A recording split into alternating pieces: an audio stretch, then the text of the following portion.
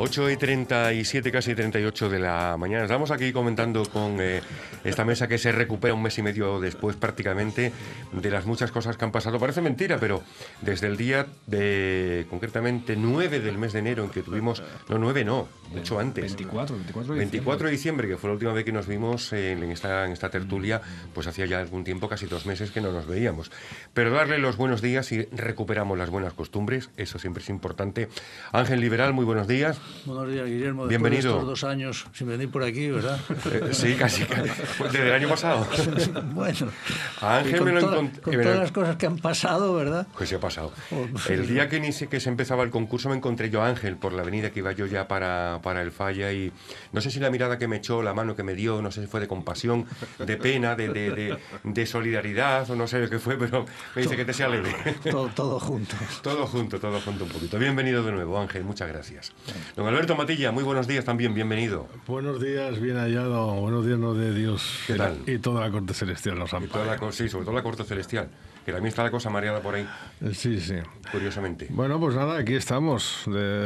fíjate, nos despedimos un día eh, con la espada de Damocles del rescate financiero y, sobre todo una prima de riesgo que estaba por las nubes, del caos que se nos avecinaba. Y efectivamente no es que estemos ahora nadando en... Pero por lo menos eh, los nubarrones, las tormentas, pues bueno... Ya se han despejado. Ya por lo menos eh, no, no, amenazan. Eh, el, ciclón, el ciclón ha bajado. Lo peor ha pasado ya, según parece... ya de categoría, según mi opinión. según mi opinión. Lo peor parece ser que ha pasado, parece ser que ha pasado, pero no sabemos si es peor lo que ha pasado o lo que tiene que pasar. Eso es lo que no sabemos. José Luis eh, Rufo, muy buenos días también, bienvenido. Buenos días, Guillermo, un placer como siempre. Igualmente, muchísimas gracias. Bueno, pues dejábamos, eh, como decíamos el año pasado, porque fue precisamente el día Nochebuena, la última vez que tuvimos la oportunidad de poder sentarnos y comentar cosas, pero retomamos esto pues casi casi dos meses después y aunque es verdad y es cierto de que hay muchas cosas que se han despejado, parece que alguien se empeña en que no saquemos los pies del fango o los pies del barro porque si bien la situación económica no esté que esté bien, ni mucho menos, que nadie se llame a engaño, parece que las cosas se van clarificando un poquito. Pero están sucediendo un montón de cosas con un montón de gente que yo estaba en el teatro, en el Falla, y de vez en cuando echaba un vistazo a los periódicos y miraba, digo, no puede ser. Esto no es la letra de, de, una, de una copla de carnaval, ni de una chirigota, ni de una comparsa. Esto está pasando de verdad, pero ¿cómo es posible? Y la verdad es que sí, están pasando muchas cosas. Yo no sé por dónde empezar, porque podríamos empezar por el, por el comienzo, el primer estado del el debate del Estado de la Nación, que va a tener lugar a partir de mañana. Y es el primero digo porque el año pasado yo comentaba esta mañana que apenas llevaba el gobierno un par de meses de, gobierno y no tenía sentido debatir sobre nada. Sobre eso, o hablar de Diego Torres, o hablar de la infanta Cristina, hablar de Benedicto XVI, hablar de Método 3, hablar, no sé, que se pueden decir un montón de cosas, hablar de la corrupción, hablar de las escuchas ilegales, hablar de, no lo sé, es que no tengo ni idea, o de algo muy importante que hablaremos a continuación de esta tertulia, que es la reforma de la, de la ley de régimen local, algo fundamental, importantísimo, a la que nadie le había metido mano y que parece ser que definitivamente se van a poner las cosas a la par de lo que realmente exige la sociedad, ¿no? ¿Por dónde queréis empezar, Ángel? Uy, has dicho tantas cosas que no que no tengo una idea, un orden de prioridades establecido, ¿no? A mí sí hay una cosa de todo lo que has ido mencionando que me llama me ha llamado muchísimo la atención en todos estos días y es que efectivamente mientras la situación económica se parece que se está clarificando y llegan apoyos del exterior, la inminente, el inminente rescate pues eh, se ha desvanecido, eh, la catástrofe de la prima de riesgo pues parece que ya no es que ya no es tanto, ¿no? Entonces es cuando surgen eh, otras actividades que parece encargadas de, desmoralizarnos, ¿no? O de o de, hacer que mantengamos, como has dicho muy bien, los pies en el fango. A mí, de todas esas actividades e informaciones que surgen, hay una que, que no me que no la veo suficientemente clara, y es la influencia de medios o de empresas extranjeras en los medios de comunicación social españoles. ¿A quién responden las principales cadenas periodísticas españolas? ¿A sus socios italianos? ¿A sus socios americanos? ¿A los intereses españoles? Es una buena pregunta. Esa, esa yo paso, esa la dejo yo para, para después del almuerzo como mínimo. No puedo tragar ese sapo tan inmenso yo ahora por las mañanas casi en ayunas. Eh, hombre, ahí queda la cuestión. Es verdad que hay que desarrollar mucho, es moverse en el campo de las hipótesis, de los intereses y habrá gusto para todos. Es verdad que, bueno, eh, es una línea que has puesto encima de la mesa muy, muy interesante. ¿no? Eh, Ángel apuntando siempre y afinando ¿no? en ese tema. Yo me voy a ir a cositas más, eh, más a mis capacidades, ¿no? a lo que yo percibo, lo que percibimos la gente de la, de la calle. ¿no? Eh, creo que, hombre, ciertamente ahí se está haciendo mucho ruido. Eh, la eh, es verdad que la izquierda en este país todavía le falta ese punto de madurez, de aceptación del, del, del- del sistema democrático y sobre, y sobre todo también de, lo- de los intereses de Estado de una nación. ¿eh? No, se puede, no se pueden ser irresponsables sabiendo el daño que se puede causar al país eh, dando esa imagen y extendiendo corrupción y sombras de corrupción y dudas sobre un gobierno que está intentando deshacer un entuerto que precisamente lo ha generado lo ha generado eh, en gran medida, o muy gran medida, el Partido Socialista. ¿no? Eh, Yo puedo decir que, hombre, independientemente de esto, hay temas que los ciudadanos, pues sí queremos eh, soluciones, ¿no? Pero que tampoco se politicen las cosas. Es verdad que, que hay un tema importante que es el tema de los desahucios. Es un tema que la gente eh, se nos ha engañado con el tema de las hipotecas. Se nos, se nos vendió se nos vendió la moto. tendremos la responsabilidad que tengamos, pero yo creo que no están todos los que tienen que estar asumiendo las responsabilidades de, de aquella de aquella burbuja inmobiliaria como la llaman eh, en los, de forma coloquial en el sistema financiero pero yo creo que hay que dar una respuesta a los ciudadanos a los problemas reales de los ciudadanos. Yo creo que este es cierto que hay eh, sus luces y sus sombras en la acción de gobierno ahora que ya nos enfrentamos al Estado de la Nación del gobierno de Mariano Rajoy, pero yo creo que Mariano Rajoy, como yo decía el otro día en un artículo, es un hombre que eh, muchas veces ya se le ha dado por muerto, muchas veces se le ha dado ya por, por frágil, se le ha dado por, eh, por derrotado, creo que es un hombre que, es- que está curtido y sabe navegar en,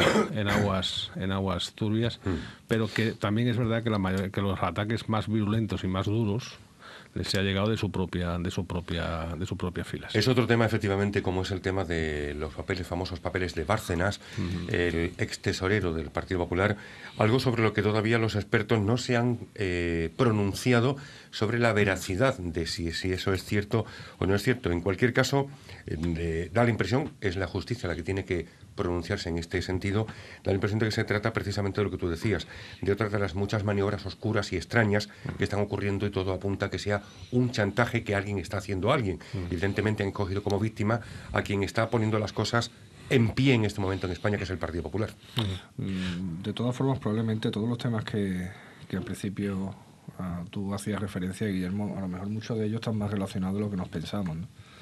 Relacionados en un contexto en el que cuando estamos en una etapa de crisis, aunque parece, a mí- ah, yo no voy a sacar el discurso aquí de los brotes verdes porque me, parece ya otra vez ya Sí. manido y ridículo. ¿no? Pero bueno, se empiezan a ver, parece un poquito el sol al, al final, pero la situación a día de hoy, como tú bien decías y te he escuchado esta mañana al inicio, ah, para nada es una situación fácil. Mm, No estamos en condiciones todavía para alegrarnos absolutamente de nada, con cerca de 6 millones de parados. Entonces, eh, eh, eh, con ese caldo de cultivo, todo ese tipo de informaciones ah, sobre corrupción y demás, lo, lo que hace todavía es molestar más a- al día a día de, de todos los ciudadanos. ¿no? Y es normal las ra- ya reacciones que se están dando, lo venimos avisando hace mucho tiempo. El gran riesgo de esto es que empiecen a asomar voces ¿ah? desde el populismo y empiecen a querer dar un discurso que la gente, en- de una forma ya desesperada, empieza a recurrir a ellos. ¿no? Y culpa, culpa y responsabilidad prácticamente de todos, de un gobierno que a día de hoy, a día de hoy, todavía, quedan, todavía queda legislatura y esperemos obviamente que, que esto mejore, porque si no, obviamente es que no sé dónde vamos a llegar. Pero a día de hoy mm, no está solucionando, quizás con la premura o por las dificultades que haya, como debería de solucionar muchos problemas, con una oposición que ahora mismo resulta un partido verdaderamente débil, yo creo que en, en ocasiones descabezado, y que coge el argumento ahora mismo de, de la corrupción y utiliza todos los poderes fácticos que ya sabemos que tiene, pues para azu- azu- atizar al gobierno. Que tiene gracias, que tiene gracias a- Al propio a- gobierno. al propio gobierno. Por ¿no? O sea, es que yo no entiendo muchas cosas. ¿no? Podemos- Al hilo de eso es curioso lo que contestó el pasado sábado Felipe González, presidente del Claro. gobierno, cuando el señor Rubalcaba, con la boca chica, porque lo dijo con la boca chica, Mm. le dijo al señor Rajoy que dimitiese, que se fuese, y le dijo al señor González que él espera que no haga Rubalcaba con Rajoy lo que hicieron con él hizo José María Aznar. Sí. O que él mismo hizo con Adolfo Suárez. Por ejemplo, Sí. por ejemplo, dice, espero por el bien del propio gobierno de que no le estén pidiendo continuamente porque así no hay, con perdón, Dios que trabaje. De todas maneras, ninguno de los interlocutores que habéis nombrado, vamos, podían, podían todos estar calladitos. Claro, Pero, lo, lo único que ocurre es que una vez que te sales de- del ruedo, la, la crítica y hablar parece que se habla con más libertad. ¿no? Sí, pero que aquí todo el mundo pide dimisiones de todo el mundo. Bueno. el único que dimite es el Papa, curiosamente. Exactamente. Bueno, pero que la pida. la- primero, el tema de, la, de pedir la dimisión por parte de Rubalcaba, quitando que es una metedura de pata. Pero con la boca chiquitita, inmensa. vamos. Lo dijo Bueno, como pidiendo perdón. Usted disculpe, señor Rajoy, pero si usted dimitiese... Bueno, lo dice Ya. precisamente, yo creo que por esa situación de partido en el que tiene temas- presiones de, de todos sí, lados. ¿no? Temas menores, temas menores sí que podríamos hablar, ¿no? O sea, por ejemplo, a mí me llama mucho la atención eh, cómo se ha tardado tanto en reaccionar con el tema de, de Sepúlveda, ¿no? En el Partido Popular, una cosa que se podía haber echado. Incluso Ana Mato, pues, pues, pues tienes también sus tiene también sus eh, por lo menos no no no estoy hablando de, de- juzgar a nadie pero sí de bueno pues mientras las cosas están como están y, se- y su nombre esté en informe de la UDICO etcétera etcétera y tal pues bueno pues habría que habría que hacer cosas que a nivel pero sobre todo porque porque hay mucho dolor en la calle. En la calle hay mucho dolor cuando se ve tantos y tantos eh, millones de euros tanto el dinero público como se ha cómo se ha mal gestionado cómo se ha cómo se ha eh, digamos mm, dilapidado cómo se han enriquecido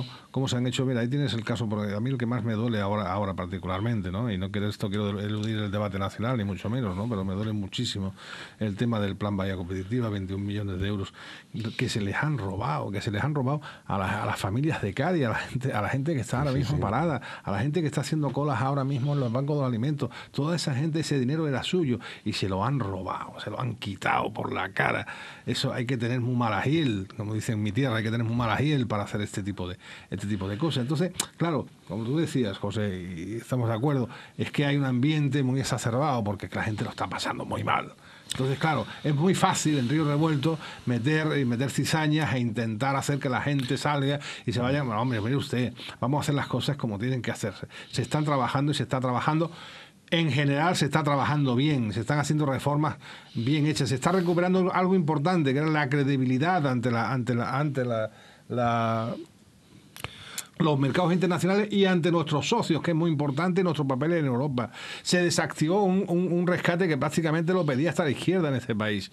Hay que poner orden. Es verdad que estamos tocados, las instituciones están casi, todas tocadas. Ahí tienes la monarquía, la monarquía está, está ahora mismo debatiéndose en un tema que le va, le va a traer mucha cola y le está haciendo muchísimo daño. Ellos mismos, evidentemente. Pero eh, hay otras muchas instituciones que tienen que reflo- reflotar y se tienen que reinventar a sí mismas.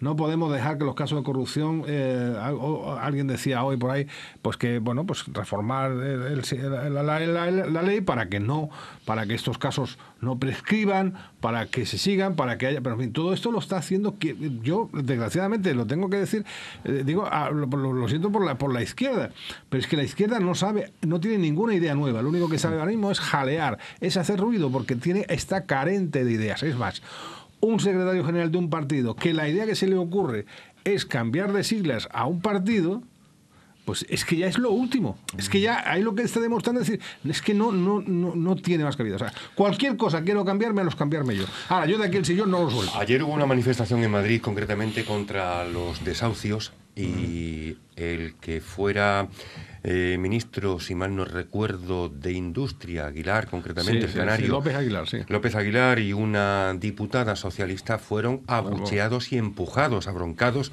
en medio de, de la calle. Quiero decir con esto que efectivamente, como tú bien dices, no hay una oposición en este país lo suficientemente importante, con peso específico, y hablo de peso político específico de garantías, que pueda ser en un momento determinado una alternativa. De hecho, la última encuesta del CIS que se publicó, bueno, pues el Partido Popular ha perdido en algo más de un año ocho puntos en cuanto a intención de voto, pero si se llegasen a acelerar, a acelerar las Claro. elecciones, las Claro. volvería a ganar. Es que está, está administrando muy bien los tiempos. Pero ah, hay un hecho, no, no creo Porque que el Partido el, peso- Popular... el se- Partido Popular ha perdido puntos, pero Sí. que el PSOE no ha subido. Pero el Partido Popular no se puede agarrar a... a- No, no, evidentemente. Quiero decirte en cómo, cuál es el clima que rodea todo Sí, esto. sí, por- el clima es lo primero que, que cuando he empezado a, a comentaros, eh, eh, yo creo que lo, lo primero que tenemos que, que hacer caso. Pero el Partido Popular flaco favor a- hace si con ese argumento intenta ya evadirse de muchas historias, ¿no? Precisamente... ¿Te parece poco argumento? ¿Te parece poco Hombre, argumento Alberto, ir, me- me parece ir poco trabajando, argumento- ir, ir- ir No, trabajando sí, la parece- reforma que se está haciendo Alberto. y coger un país hecho unos zorros, ir Sí, poniendo sí. con, oye, con todas sus, cuidado, con todas sus sombras, con todos sus errores, con el tema, en fin, hay, hay muchísimos. A, podemos a- enumerar, a pero- día de hoy, Alberto, tenemos un millón todavía más de parados que hace un año. ¿eh? Entonces, vamos Pero- a ver. Eso que no, que no estoy diciendo, vamos a ver, que obviamente son las consecuencias de, de donde estábamos. Y no quiero aquí, no voy con la idea de que se haya creado ¿ah? o, o todavía estemos peor que hace que la etapa de Zapatero, ni mucho menos. Pero, obviamente, el tema de la corrupción no le ayuda, no le va a ayudar nunca. Y tiene que ser muy eficiente y dar mucha claridad. Tú has sacado el tema de Anamato. Y el tema de Anamato, hasta gente de su propio partido, obviamente, ah, porque que tú seas de un partido u otro no quiere decir que a veces tengan luces de, de razón, pide y exige que se haga una limpieza en esa situación. Y se tenía que haber hecho mucho antes. El tema, el tema de Gürtel se veía venir hace muchísimo tiempo. Entonces hay que exigirle a los partidos que con esas historias es que no puede haber ni un ápice de duda. Porque cualquier medio de comunicación, como ha ocurrido, lanzando unos simples papeles que ahora no sabemos a quién responde o de quiénes son, o si realmente son fotocopias, ya crea una gran duda y hace un gran daño. Y precisamente un gran daño que va a repercutir en lo que estamos hablando, en ese trabajo de intentar mejorar el país, de imagen exterior. La imagen exterior de España durante las últimas dos semanas ha sido lamentable. Entonces, el Partido Popular todos los partidos, pero el Partido Popular que está gobernando debe tener mucho, mucho cuidado en ese aspecto, muchísimo. Y no podemos agarrarnos al argumento, que es verídico, de que el PSOE, en este caso, está descabezado, no tiene sentido. Ah, no puede hablar en demasía, porque obviamente la corrupción les atiza a todos. Para, oye, el Estado de la Nación probablemente en qué se va a convertir? Pues en algo muy lamentable, si no lo veremos, en el y tú más. Y ya muchos estamos cansados del y tú más. Oiga, esto, No, yo, pero creo, ¿y yo no creo, yo no creo que... lo- sí, perdón, perdón, Mira, perdón. me, me dijiste antes lo del chantaje. Yo, yo creo que además del chantaje eh, también hay una venganza y sobre todo mucho miedo. Miedo a que las cosas vayan vayan encauzándose ¿no? y que las perspectivas vayan resultando cada vez más favorables. Aunque evidentemente eh, cualquiera de nosotros es consciente de que si, si una catedral eh, se construye en 100 años, destruirla se destruye En- en 10 minutos. en 24 horas. ¿eh? Y lo mismo digo de la corrupción. Si la corrupción lleva eh, 100 años o 50 años practicándose, seguramente 100 o 200, no se erradica en tres semanas. Entonces, ahora que el patrón del barco parece que toma el control de la nave y que nos va a acabar llevando hacia buen puerto, lo que procede es convertirlo en un muñeco del pim pam pum, a cargárselo. ¿Por qué? Por el miedo. Hombre, el el miedo miedo- a que enderece sí, y a que se el- el mantenga. miedo- el Sí, miedo sí, efectivamente, pero, ambas- pero a, mí, a mí lo que me ha llamado la atención, perdóname Guillermo, es por ambas partes. ¿eh? Bueno, cada los, uno tiene los sus ataques intereses. profundos que, que, que Que sí, está, que sí. está acometiendo el presidente del gobierno los está recibiendo por ambas partes. Yo creo que los que más le duelen son los que vienen de su propia. Se están propia- quedando- Bueno, las, las maldades cometidas en su propio campo. Pero se están poniendo- Pero no que lo estén utilizando en contra de él, porque los que lo hacen son los que han desertado de su campo y se pasan al contrario. Se están poniendo en evidencia muchas cosas, evidentemente. Esto es como, yo no sé, el trabajo que está haciendo el gobierno es un trabajo de fontaneros, de, de, de- de albañiles, pero de albañil de, de pala y de ladrillo, quiero decir. No es un trabajo de arquitectura, ni mucho menos. Claro, eso incomoda a según quién. Porque claro, dice, ¿y usted cómo está haciendo esto cuando esto llevaba tanto tiempo así? Me estaba acordando ahora, no sé si visteis el pasado sábado por la noche, una mm, muy buena entrevista que se le hizo a Juan Carlos Rodríguez Ibarra en la televisión es presidente de la Junta de Extremadura. De, no sé si la, la visteis o no la viste. Bueno, Tocaba pues, vive.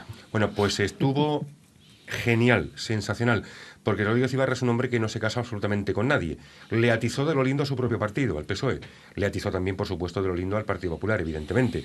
Está claro, pero eh, se le preguntaba a Rodríguez Ibarra y le decían, usted siempre se ha mostrado muy crítico con su propio partido, dice, y lo seguiré siendo, y lo sigo siendo, no me gusta lo que está haciendo el PSOE. E". Dice, "Ah, si no vamos a gobernar en la vida. Se lo están poniendo fácil al señor Rajoy. Pero sobre todo lo que llamó es algo que un político de las miras y de la talla de él, un hombre ya jubilado, está ya quitado del, medio, del mundo de la política, dice, esto del tú que estabais hablando anteriormente y tú más y tú más, dice, tienen que entenderse.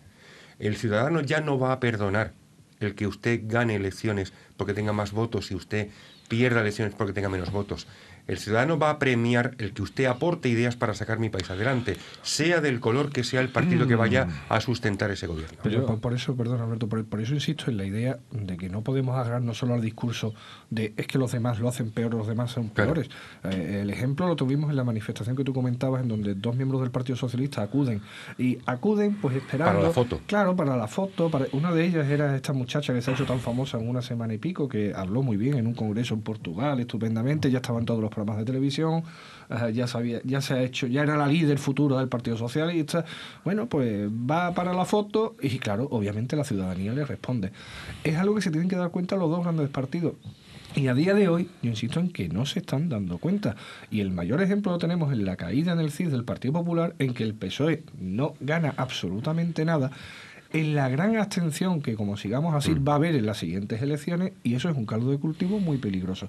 O estos señores se dan mm. cuenta del riesgo que esto conlleva, o sinceramente, yo siento ser muy agorero, pero podemos acabar muy mal. ¿eh? No, no, yo no, no, no, yo no, soy, en absoluto soy agorero. Creo que hay muchas, eh, hay, hay muchos factores y muchos elementos sobre la mesa para ser optimistas. Entre, entre otros, entre otros porque el país está, eh, yo creo que ha tocado suelo en cuanto a la situación económica. Dramático, es cierto, muchísima gente desempleo. Yo creo que son 14 millones de españoles que trabajamos para soportar 18 millones eh, más, eh, más eh, pensionistas, etcétera, etcétera, que no trabajan. Creo que se está haciendo un gran esfuerzo en ese sentido. Yo creo que mm, hay que dar tiempo a las, a las cosas para que funcionen, decía, decía aquí nuestro compañero Ángel. Es verdad, no se, las cosas no se construyen, hay que dar tiempo a, las iniciativas. Por las iniciativas legislativas luego tienen que implementarse y tienen que dar resultados y eso no, no, no tienen un carácter inmediato. Pero yo quiero, no quiero que se, se me vaya un poco lo de López, este, Rodríguez Ibarra. Rodríguez Ibarra a mí, a mí me hace, me llama mucha atención pues, esta gente que se retira, una vez que se retiran, como también me hace mucha, mucha gracia, este no se ha retirado, ¿no? Pero es el presidente de Cantabria, ¿no? Estos que, que desde sus púlpitos especiales, Felipe González aparece con una especie de voz ahí de, en off, ¿no? que, que nos dice y nos marca y nos recuerda y hablan con, una, con un halo de, eh, sabes, de sabiduría y de experiencia.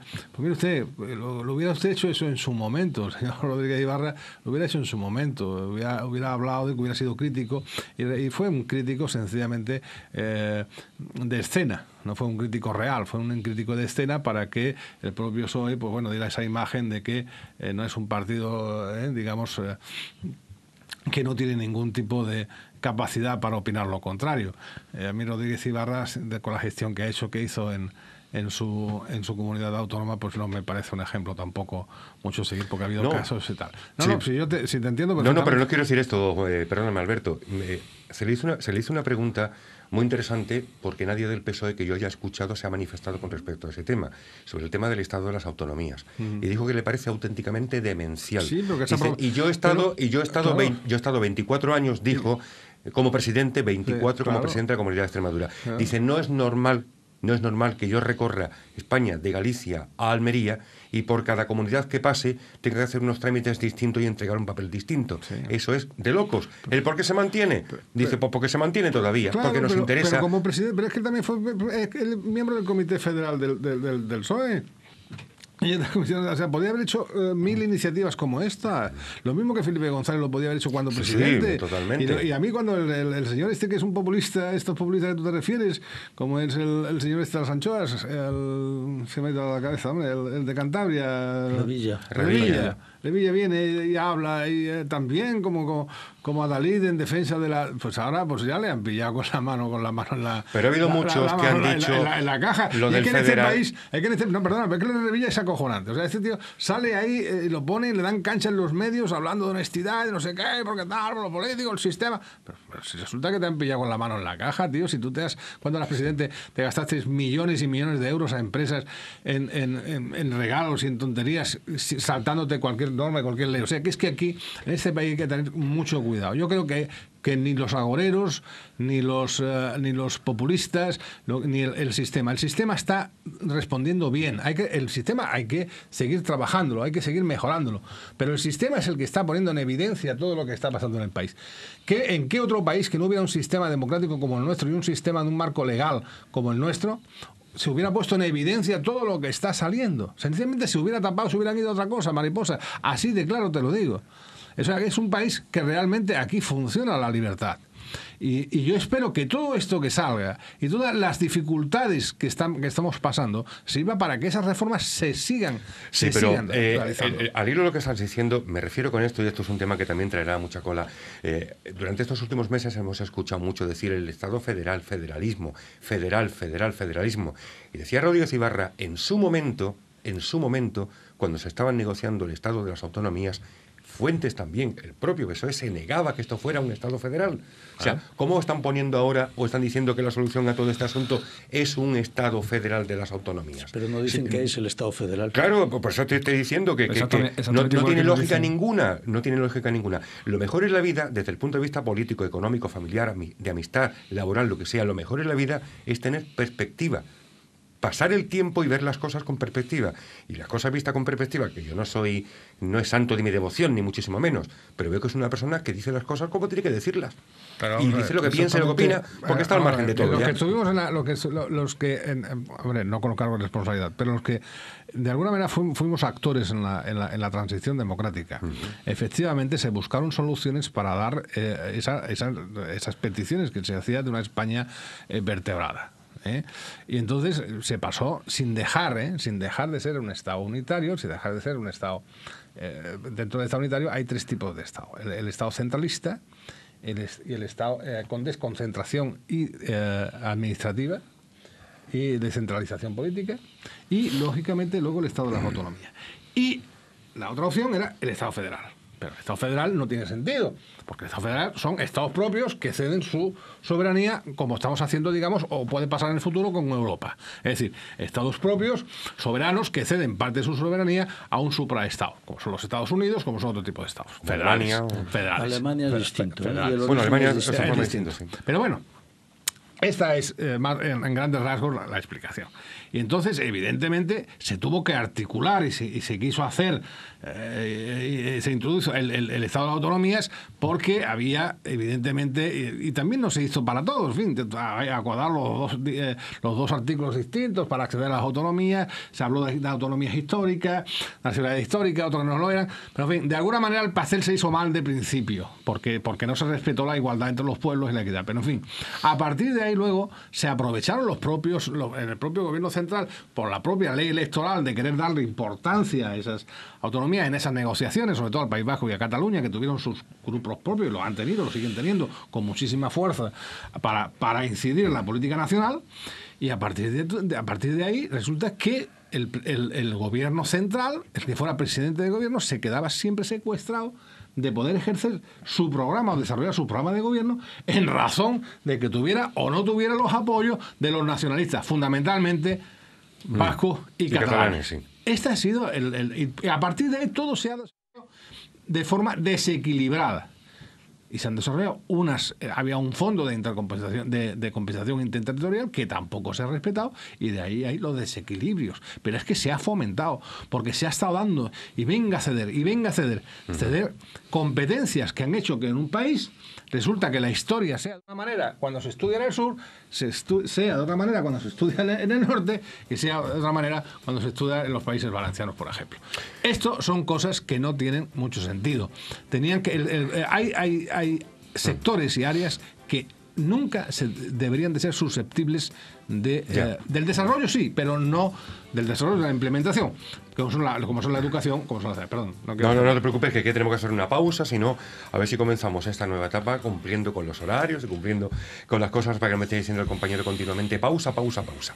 Pues pausa y volvemos inmediatamente.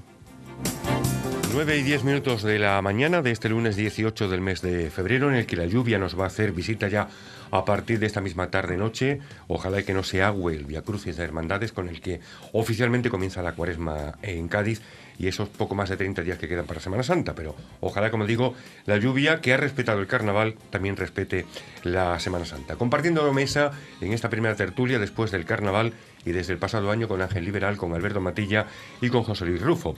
Ayer veíamos en la pequeña pantalla de los informativos, eh, siempre te comento lo mismo, leer periódicos, ver un informativo, veíamos como Diego Torres, este personaje que ha salido, no se sabe nadie de bien de dónde ha salido, pero que se está convirtiendo en uno de los personajes mediáticos de este país durante esos últimos días, decía, quiero salir de aquí cuando sea y como sea buscando un billete de avión en el aeropuerto de, Palma. El próximo sábado, día 23 de febrero, declara también en los jugados de Palma Iñaki Urdangarín. Están saliendo muchos nombres, una tal Corina, está saliendo la infanta Cristina, está saliendo incluso su majestad el rey. Estamos conociendo muchos más datos en torno al llamado Casa Nos o caso de las ayudas o subvenciones que a este instituto facilitaban algunos gobiernos municipales, incluso también regionales. Esta tal Corina se publica hoy en la prensa, lo pueden leer en cualquier digital, que Corina y Urdangarín, y hoy hay una transcripción, por cierto, muy interesante, en un periódico de, un, de los, uno de los correos remitidos en inglés, informaban al rey de los negocios que estaba llevando a cabo Iñaki Urdangarín. ¿Quién era Iñaki Urdangarín? Dentro del Instituto NOS, conocía a la infanta Cristina todo lo que ocurría. Es cierto que presuntamente se le ofreció un sueldo a la infanta Cristina para mantener la boca cerrada y no decir nada de lo que estaba pasando. Realmente conocía el rey todo lo que estaba sucediendo en el Instituto NOS. Eh, ¿Por qué no se le mete en prisión a este caballero? Eh, porque dice que ha dicho su señoría que tiene más correo que en su momento dará. Usted me tiene que dar todas las pruebas que usted tenga que aportar. Usted no me puede entregar, mire esto, como yo decía esta mañana, por fascículo. ¿Esto qué es lo que es? Se le castiga al tal caballerete este. En fin, que todo este asunto, ¿qué os parece? Pues yo le voy a hacer la misma crítica con todo el respeto del mundo a la Casa Real que le acabo de hacer a los partidos políticos. Exactamente la misma. No limpian. No limpian. Y al no limpiar, en ciertos momentos, como el actual, pues, oye, todavía con perdón la mierda huele mucho más. ¿El que calla otorga? Pues probablemente, sí, sí. En mi opinión, en este caso sí. Vamos a ver. Los que nos están escuchando y los que estamos en la mesa. Si nosotros le decimos a nuestro yerno por H o por B, oye, yernito, anda, que te busca un puestecito allí más allá del, charco. ¿eh? En Telefónica. Y vete, vete para allá, anda, vete para allá, que ya está bien. ¿eh? ¿Eso qué significa? Significa que todo el mundo sabía lo que estaba haciendo el Claro. Y que se lo querían quitar del medio. Y anda, alerta, llévate a la telefónica y darle allí un puestecito y, que no aparezca por aquí, que se vaya con la niña y los nietos y que vengan, ya iremos a verlo, que no nos faltan capacidad de visita. Pero al parecer, Alberto, lo que tú estás diciendo en la presunción de inocencia todo el mundo la debe tener, hasta que se muestra lo contrario, pero hace, hace al menos tres años en la zarzuela hubo un, dicen, eso lo he leído yo, una tremenda bronca, una tremenda bronca que tanto el príncipe Felipe como su majestad el rey le montaron a Iñaki Urdangarín eh, reprochándole, recriminándole cuando supieron todo lo que estaba haciendo. Sobre todo el príncipe, y sobre todo el príncipe. Yo no estoy juzgando a nadie, yo estoy nada más que eh, dando mi opinión sobre informaciones que nadie ha desmentido. Pero este sujeto de dónde ha venido, ¿cómo se ha metido este hombre en la familia real? Pero no, no, solo este con todo el derecho que ahora, que ahora las familias reales, en, estos tiempos, eh, con esa especie de em, voluntad de democratizar, de, acercarse al pueblo, de, Pero bueno, de ¿Usted dónde viene? ¿Usted dónde ha salido? Claro, Entonces, ¿De jugar a balonmano o qué? Entonces, ellos, ellos eh, pues, empiezan a, a, casarse y a tener relaciones con plebeyes, ellos y ellas, ¿entiendes? Ellas y ellos con plebeyes. Y entonces, pues nada, bueno, pues... Y bien, pues esto no aquí no hay mayor problema. El problema que, que tenemos es que el rey no ha sabido, no ha sabido no ha sabido estar en su casa, limpiar su casa y estar atento y cortar el cáncer de la raíz desde la raíz. Lo ha dicho pues, limpiar. Y ahora te voy a decir otra cosa, ya te voy a decir otra cosa más. Te voy a decir otra cosa más. Y después ah, Ángel. Hay un príncipe, hay un príncipe Felipe que está, si hay alguien cabreado en la casa real, es el príncipe. ¿Sabes por qué? Porque le están jodiendo su futuro. A él es el que le están fastidiando. Y no puede ver al cuñado ni en pintura porque el cuñado es el que ha puesto en entredicho a la Casa Real. Todo lo que le ha costado al padre y a los medios de comunicación y todos los, eh, todos los políticos de la transición en hacer la figura del rey como la, figura eh, completamente eh, mm, conciliadora de este país que está por encima de cualquier tipo de interés, pues se lo ha cargado, se la está cargando. ¿Y sabes lo que ocurre? Que él sabe y es consciente de que este país ah, soporta eh, al padre hasta cierto límite. Y de hecho el padre lo, sabe, porque el padre es el único también que ha pedido perdón aquí cuando tenido un error eh, en una cacería. Salió, lo dijo, oye, me he equivocado y pido perdón. Eso no lo he visto yo en un político mm, de tres alcohol nunca. Nunca, nunca. y se han equivocado muchas veces.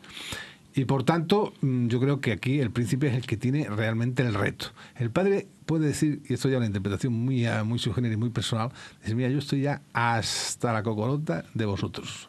Yo he hecho ya todo el papel que tenía que hacer. La familia está bien puesta. Si vosotros no queréis que vuestro futuro, no queréis, no sabéis defender y no sabéis cuidar, yo, yo os he marcado la línea, allá vosotros. A mí y a mi vejez no me la vais a complicar. Y esto es lo que yo creo que va por ahí los tiros. Bueno, yo de todo este tema me resulta profundamente desagradable porque necesito poder confiar en el jefe del Estado de mi país, de España. Entonces, mm, no me, no me gusta eh, intervenir en, en juicios sobre la conducta de la jefatura del Estado, ni creo que tenga la más mínima capacidad para hacerlo. Por otra parte, me gusta todavía menos hacer el juego a determinadas empresas periodísticas que bien sabemos que su cabeza ¿eh? o la jefatura de esa empresa periodística eh, en determinados momentos parece que, como diría, que quiere gobernar al país sin pasar por las urnas y que además responden a intereses, eh, lo que dije yo hace al principio de nuestras intervenciones, a tienen ciertas subordinaciones a empresas extranjeras. Con lo cual, mm, pues para mí la idea está clara, estoy de acuerdo con lo, que has, dicho tú. Seguramente el jefe del Estado ha intentado limpiar hasta donde ha podido, pero hoy día con, con todas estas cuestiones de Internet, de la facilidad con que se pueden guardar reproducir, inventar o hacer lo que se quiera con los medios de comunicación, con los escritos, pues es asombrosa. Yo, como digo, eh, me mantengo en mi postura de que necesito eh, confiar, por lo menos, en la jefatura del Estado. Y, y, en eso estoy. Lo que pasa es que aquí no se hace, yo tampoco me atrevería a hacer ningún juicio de valor en torno a lo que pertenece a la primera familia española, que es el jefe del Estado. Pero, mm, como bien decía Alberto, si tú tienes un referente eh, y tienes, y lo que decimos muchas veces y comentamos, tenemos eh, la referencia de la familia real como algo que está muy por encima de muchas cuestiones y que está totalmente transparente y hasta eso está tocado del ala, por así decirlo, es como si estuviéramos jugando a los barquitos desde el punto está de vista. Muy tocado está muy tocado del ala, o sea, tocado y hundido. Es que ya, es que han metido, es que han metido, es que Torres, se llega, Torres ha metido ahora al, al, mismísimo monarca, al mismísimo jefe del Estado, lo, intenta empozoñar. Pero eso, es lo que decía anteriormente, que el juez, el magistrado, el sábado en Palma, le tenía que haber dicho, usted sale de aquí y se va directamente a prisión. Usted, a mí no me puede, usted a mí no me puede embargar la información según su propia conveniencia para ver por dónde, como tú decías anteriormente, Ángel, alguna empresa periodística va mm, dosificando la información. O sea, yo tengo, yo le entrego a usted 160 mails, ¿vale? Pero cuando yo venga, a, eh, eh, cuando venga eh, Iñaki Urdangarín, según lo que declare, según lo que diga, yo sacaré más mails e implicaré de nuevo al jefe del Estado. Eso es lo que no puede ser. Mal, mal vamos en, este país, eh, obviamente una opinión personal, si convertimos a ciertas personas en intocables. ¿eh? En, un, en un muñeco de pim pam No, pero tampoco, vamos a ver, no, pero vamos a ver, vamos a hablar bastante claro. Eh, estamos aquí tampoco podemos echar como única culpa ahora que, oye, es que la niña se ha casado con un sinvergüenza, que probablemente lo sea, y es el que este está destruyendo, ahora va a destruir la monarquía. No ese discurso, lo siento, no lo comparto absolutamente para nada. Vamos a ver, entre otras cosas, pues esta señorita que viene aquí importada en el periódico El Mundo es amiga de su majestad, que me imagino que será el quien la introduce. Pero bueno, independientemente de esas historias, repito, el rey muy mal, malamente hace si ha querido en algún momento pensar que esto se tapaba, enviando, como tú bien dices, probablemente a su yerno, pues eh, de los mares, y aquí el problema, mm, asunto sajado, en vez de haberse ido y haber denunciado él mismo. Es la misma crítica, exactamente la misma crítica que le hago, os repito, a los presidentes de los partidos políticos. Exactamente la misma. Si tú tienes constancia en tu propio partido de un caso de corrupción, sé tú el primero, el primero que da un paso y denúncialo. Y sé tú el primero que limpia. El rey, y lo siento mucho por muy jefe de Estado que sea, no ha hecho eso absolutamente para nada. Y eso en un contexto. Y no me vale que después pida perdón. Absolutamente. Me parece muy bien, muy loable, pero en un contexto como el que estamos es muy peligroso. Y yo vuelvo otra vez a los agoreros, siento ser así, en un contexto donde jamás se empiezan a ver tantas banderas republicanas en cualquier en cualquier acto, sea el que sea, hasta deportivo te aparecen. A mí eso me parece anecdótico, si me permite, José Es anecdótico. Me parece anecdótico. Pero hay que tener mucho cuidado porque la gente se apunta a lo que sea sin tener conocimiento. Porque si podemos, ahora sacamos la bandera pirata. O sea que... no cuidado y al tiempo. Vamos a ver. no, la gente no te digo que no. A lo que sea. Sí, sí, pero Verás tú, en, todo esto existe como se llama eh, cuando, cuando vas a la pesca, el barco de pesca.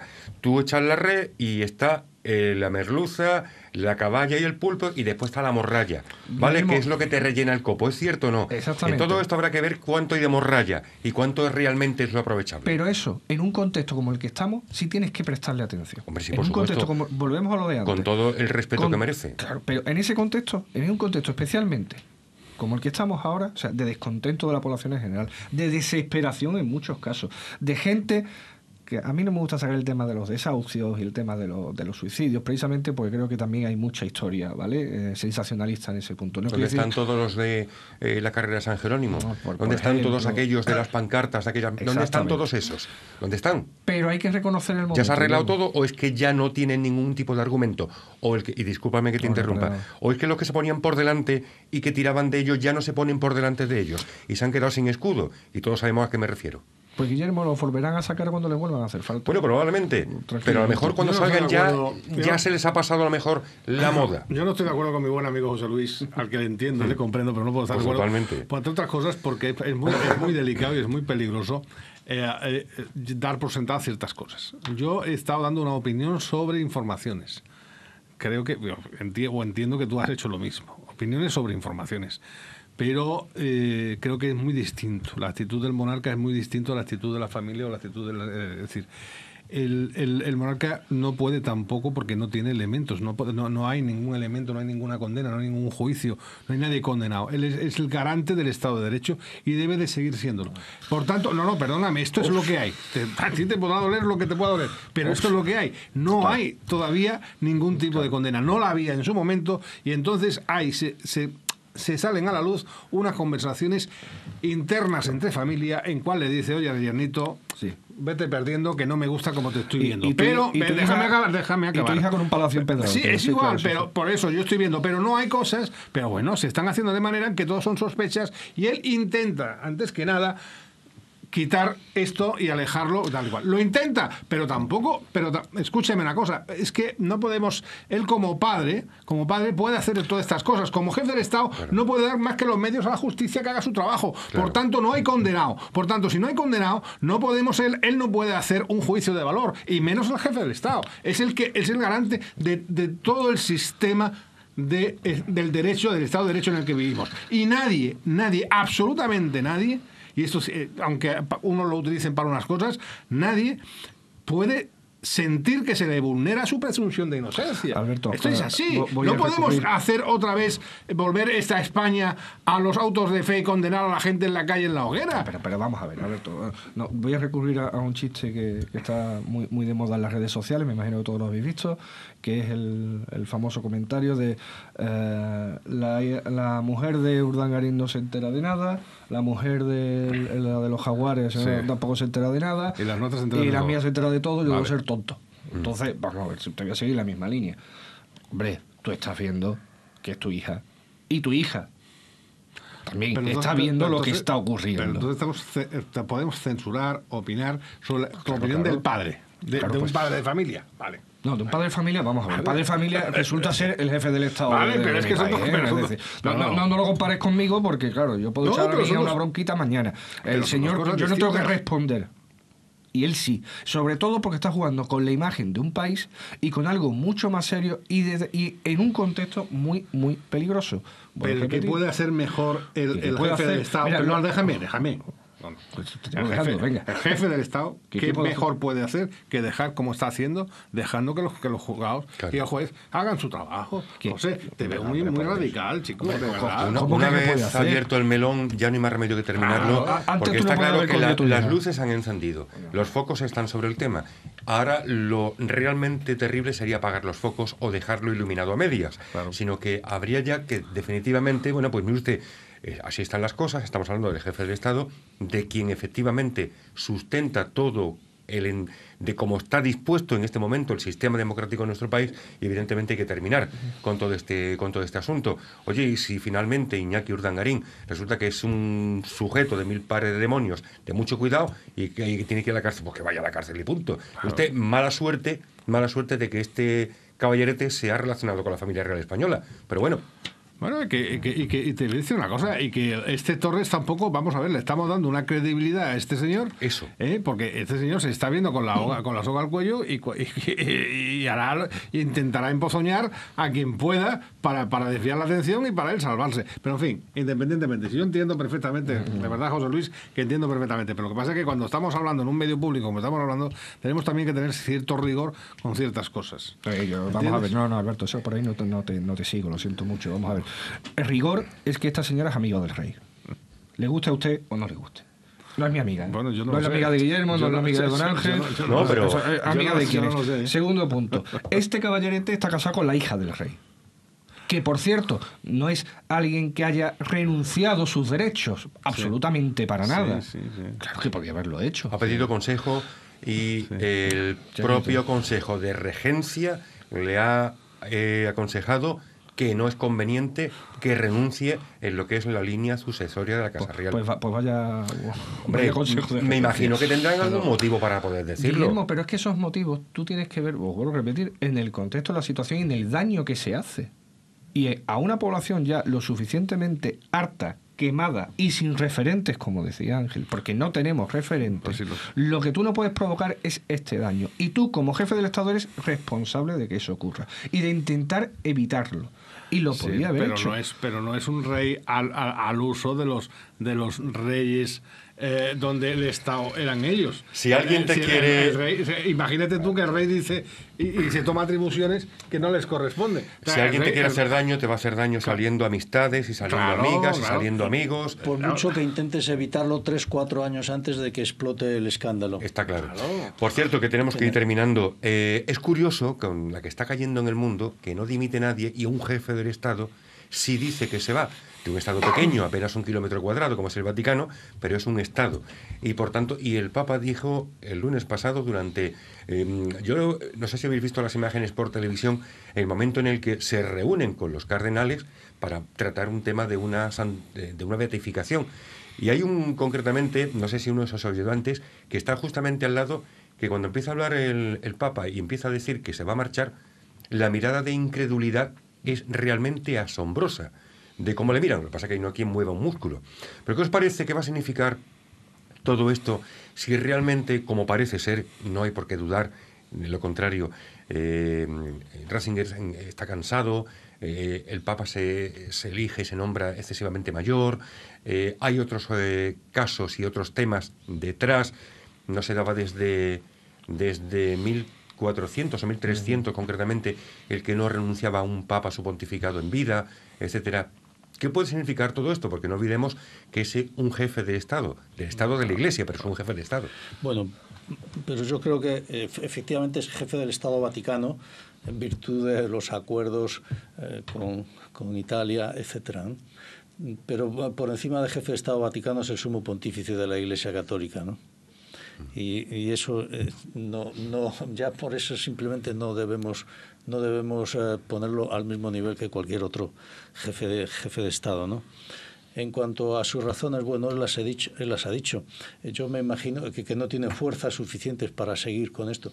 Me imagino que debe ser consciente de la cantidad de gravísimos problemas que existen en, en el mundo eclesial y en, todo el mundo católico, en, el mundo en, general, y que no se considera con fuerzas como para, para dar la respuesta adecuada.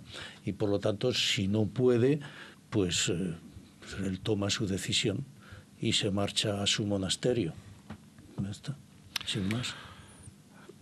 Yo ¿Qué opinas? Yo es un tema muy muy apasionante.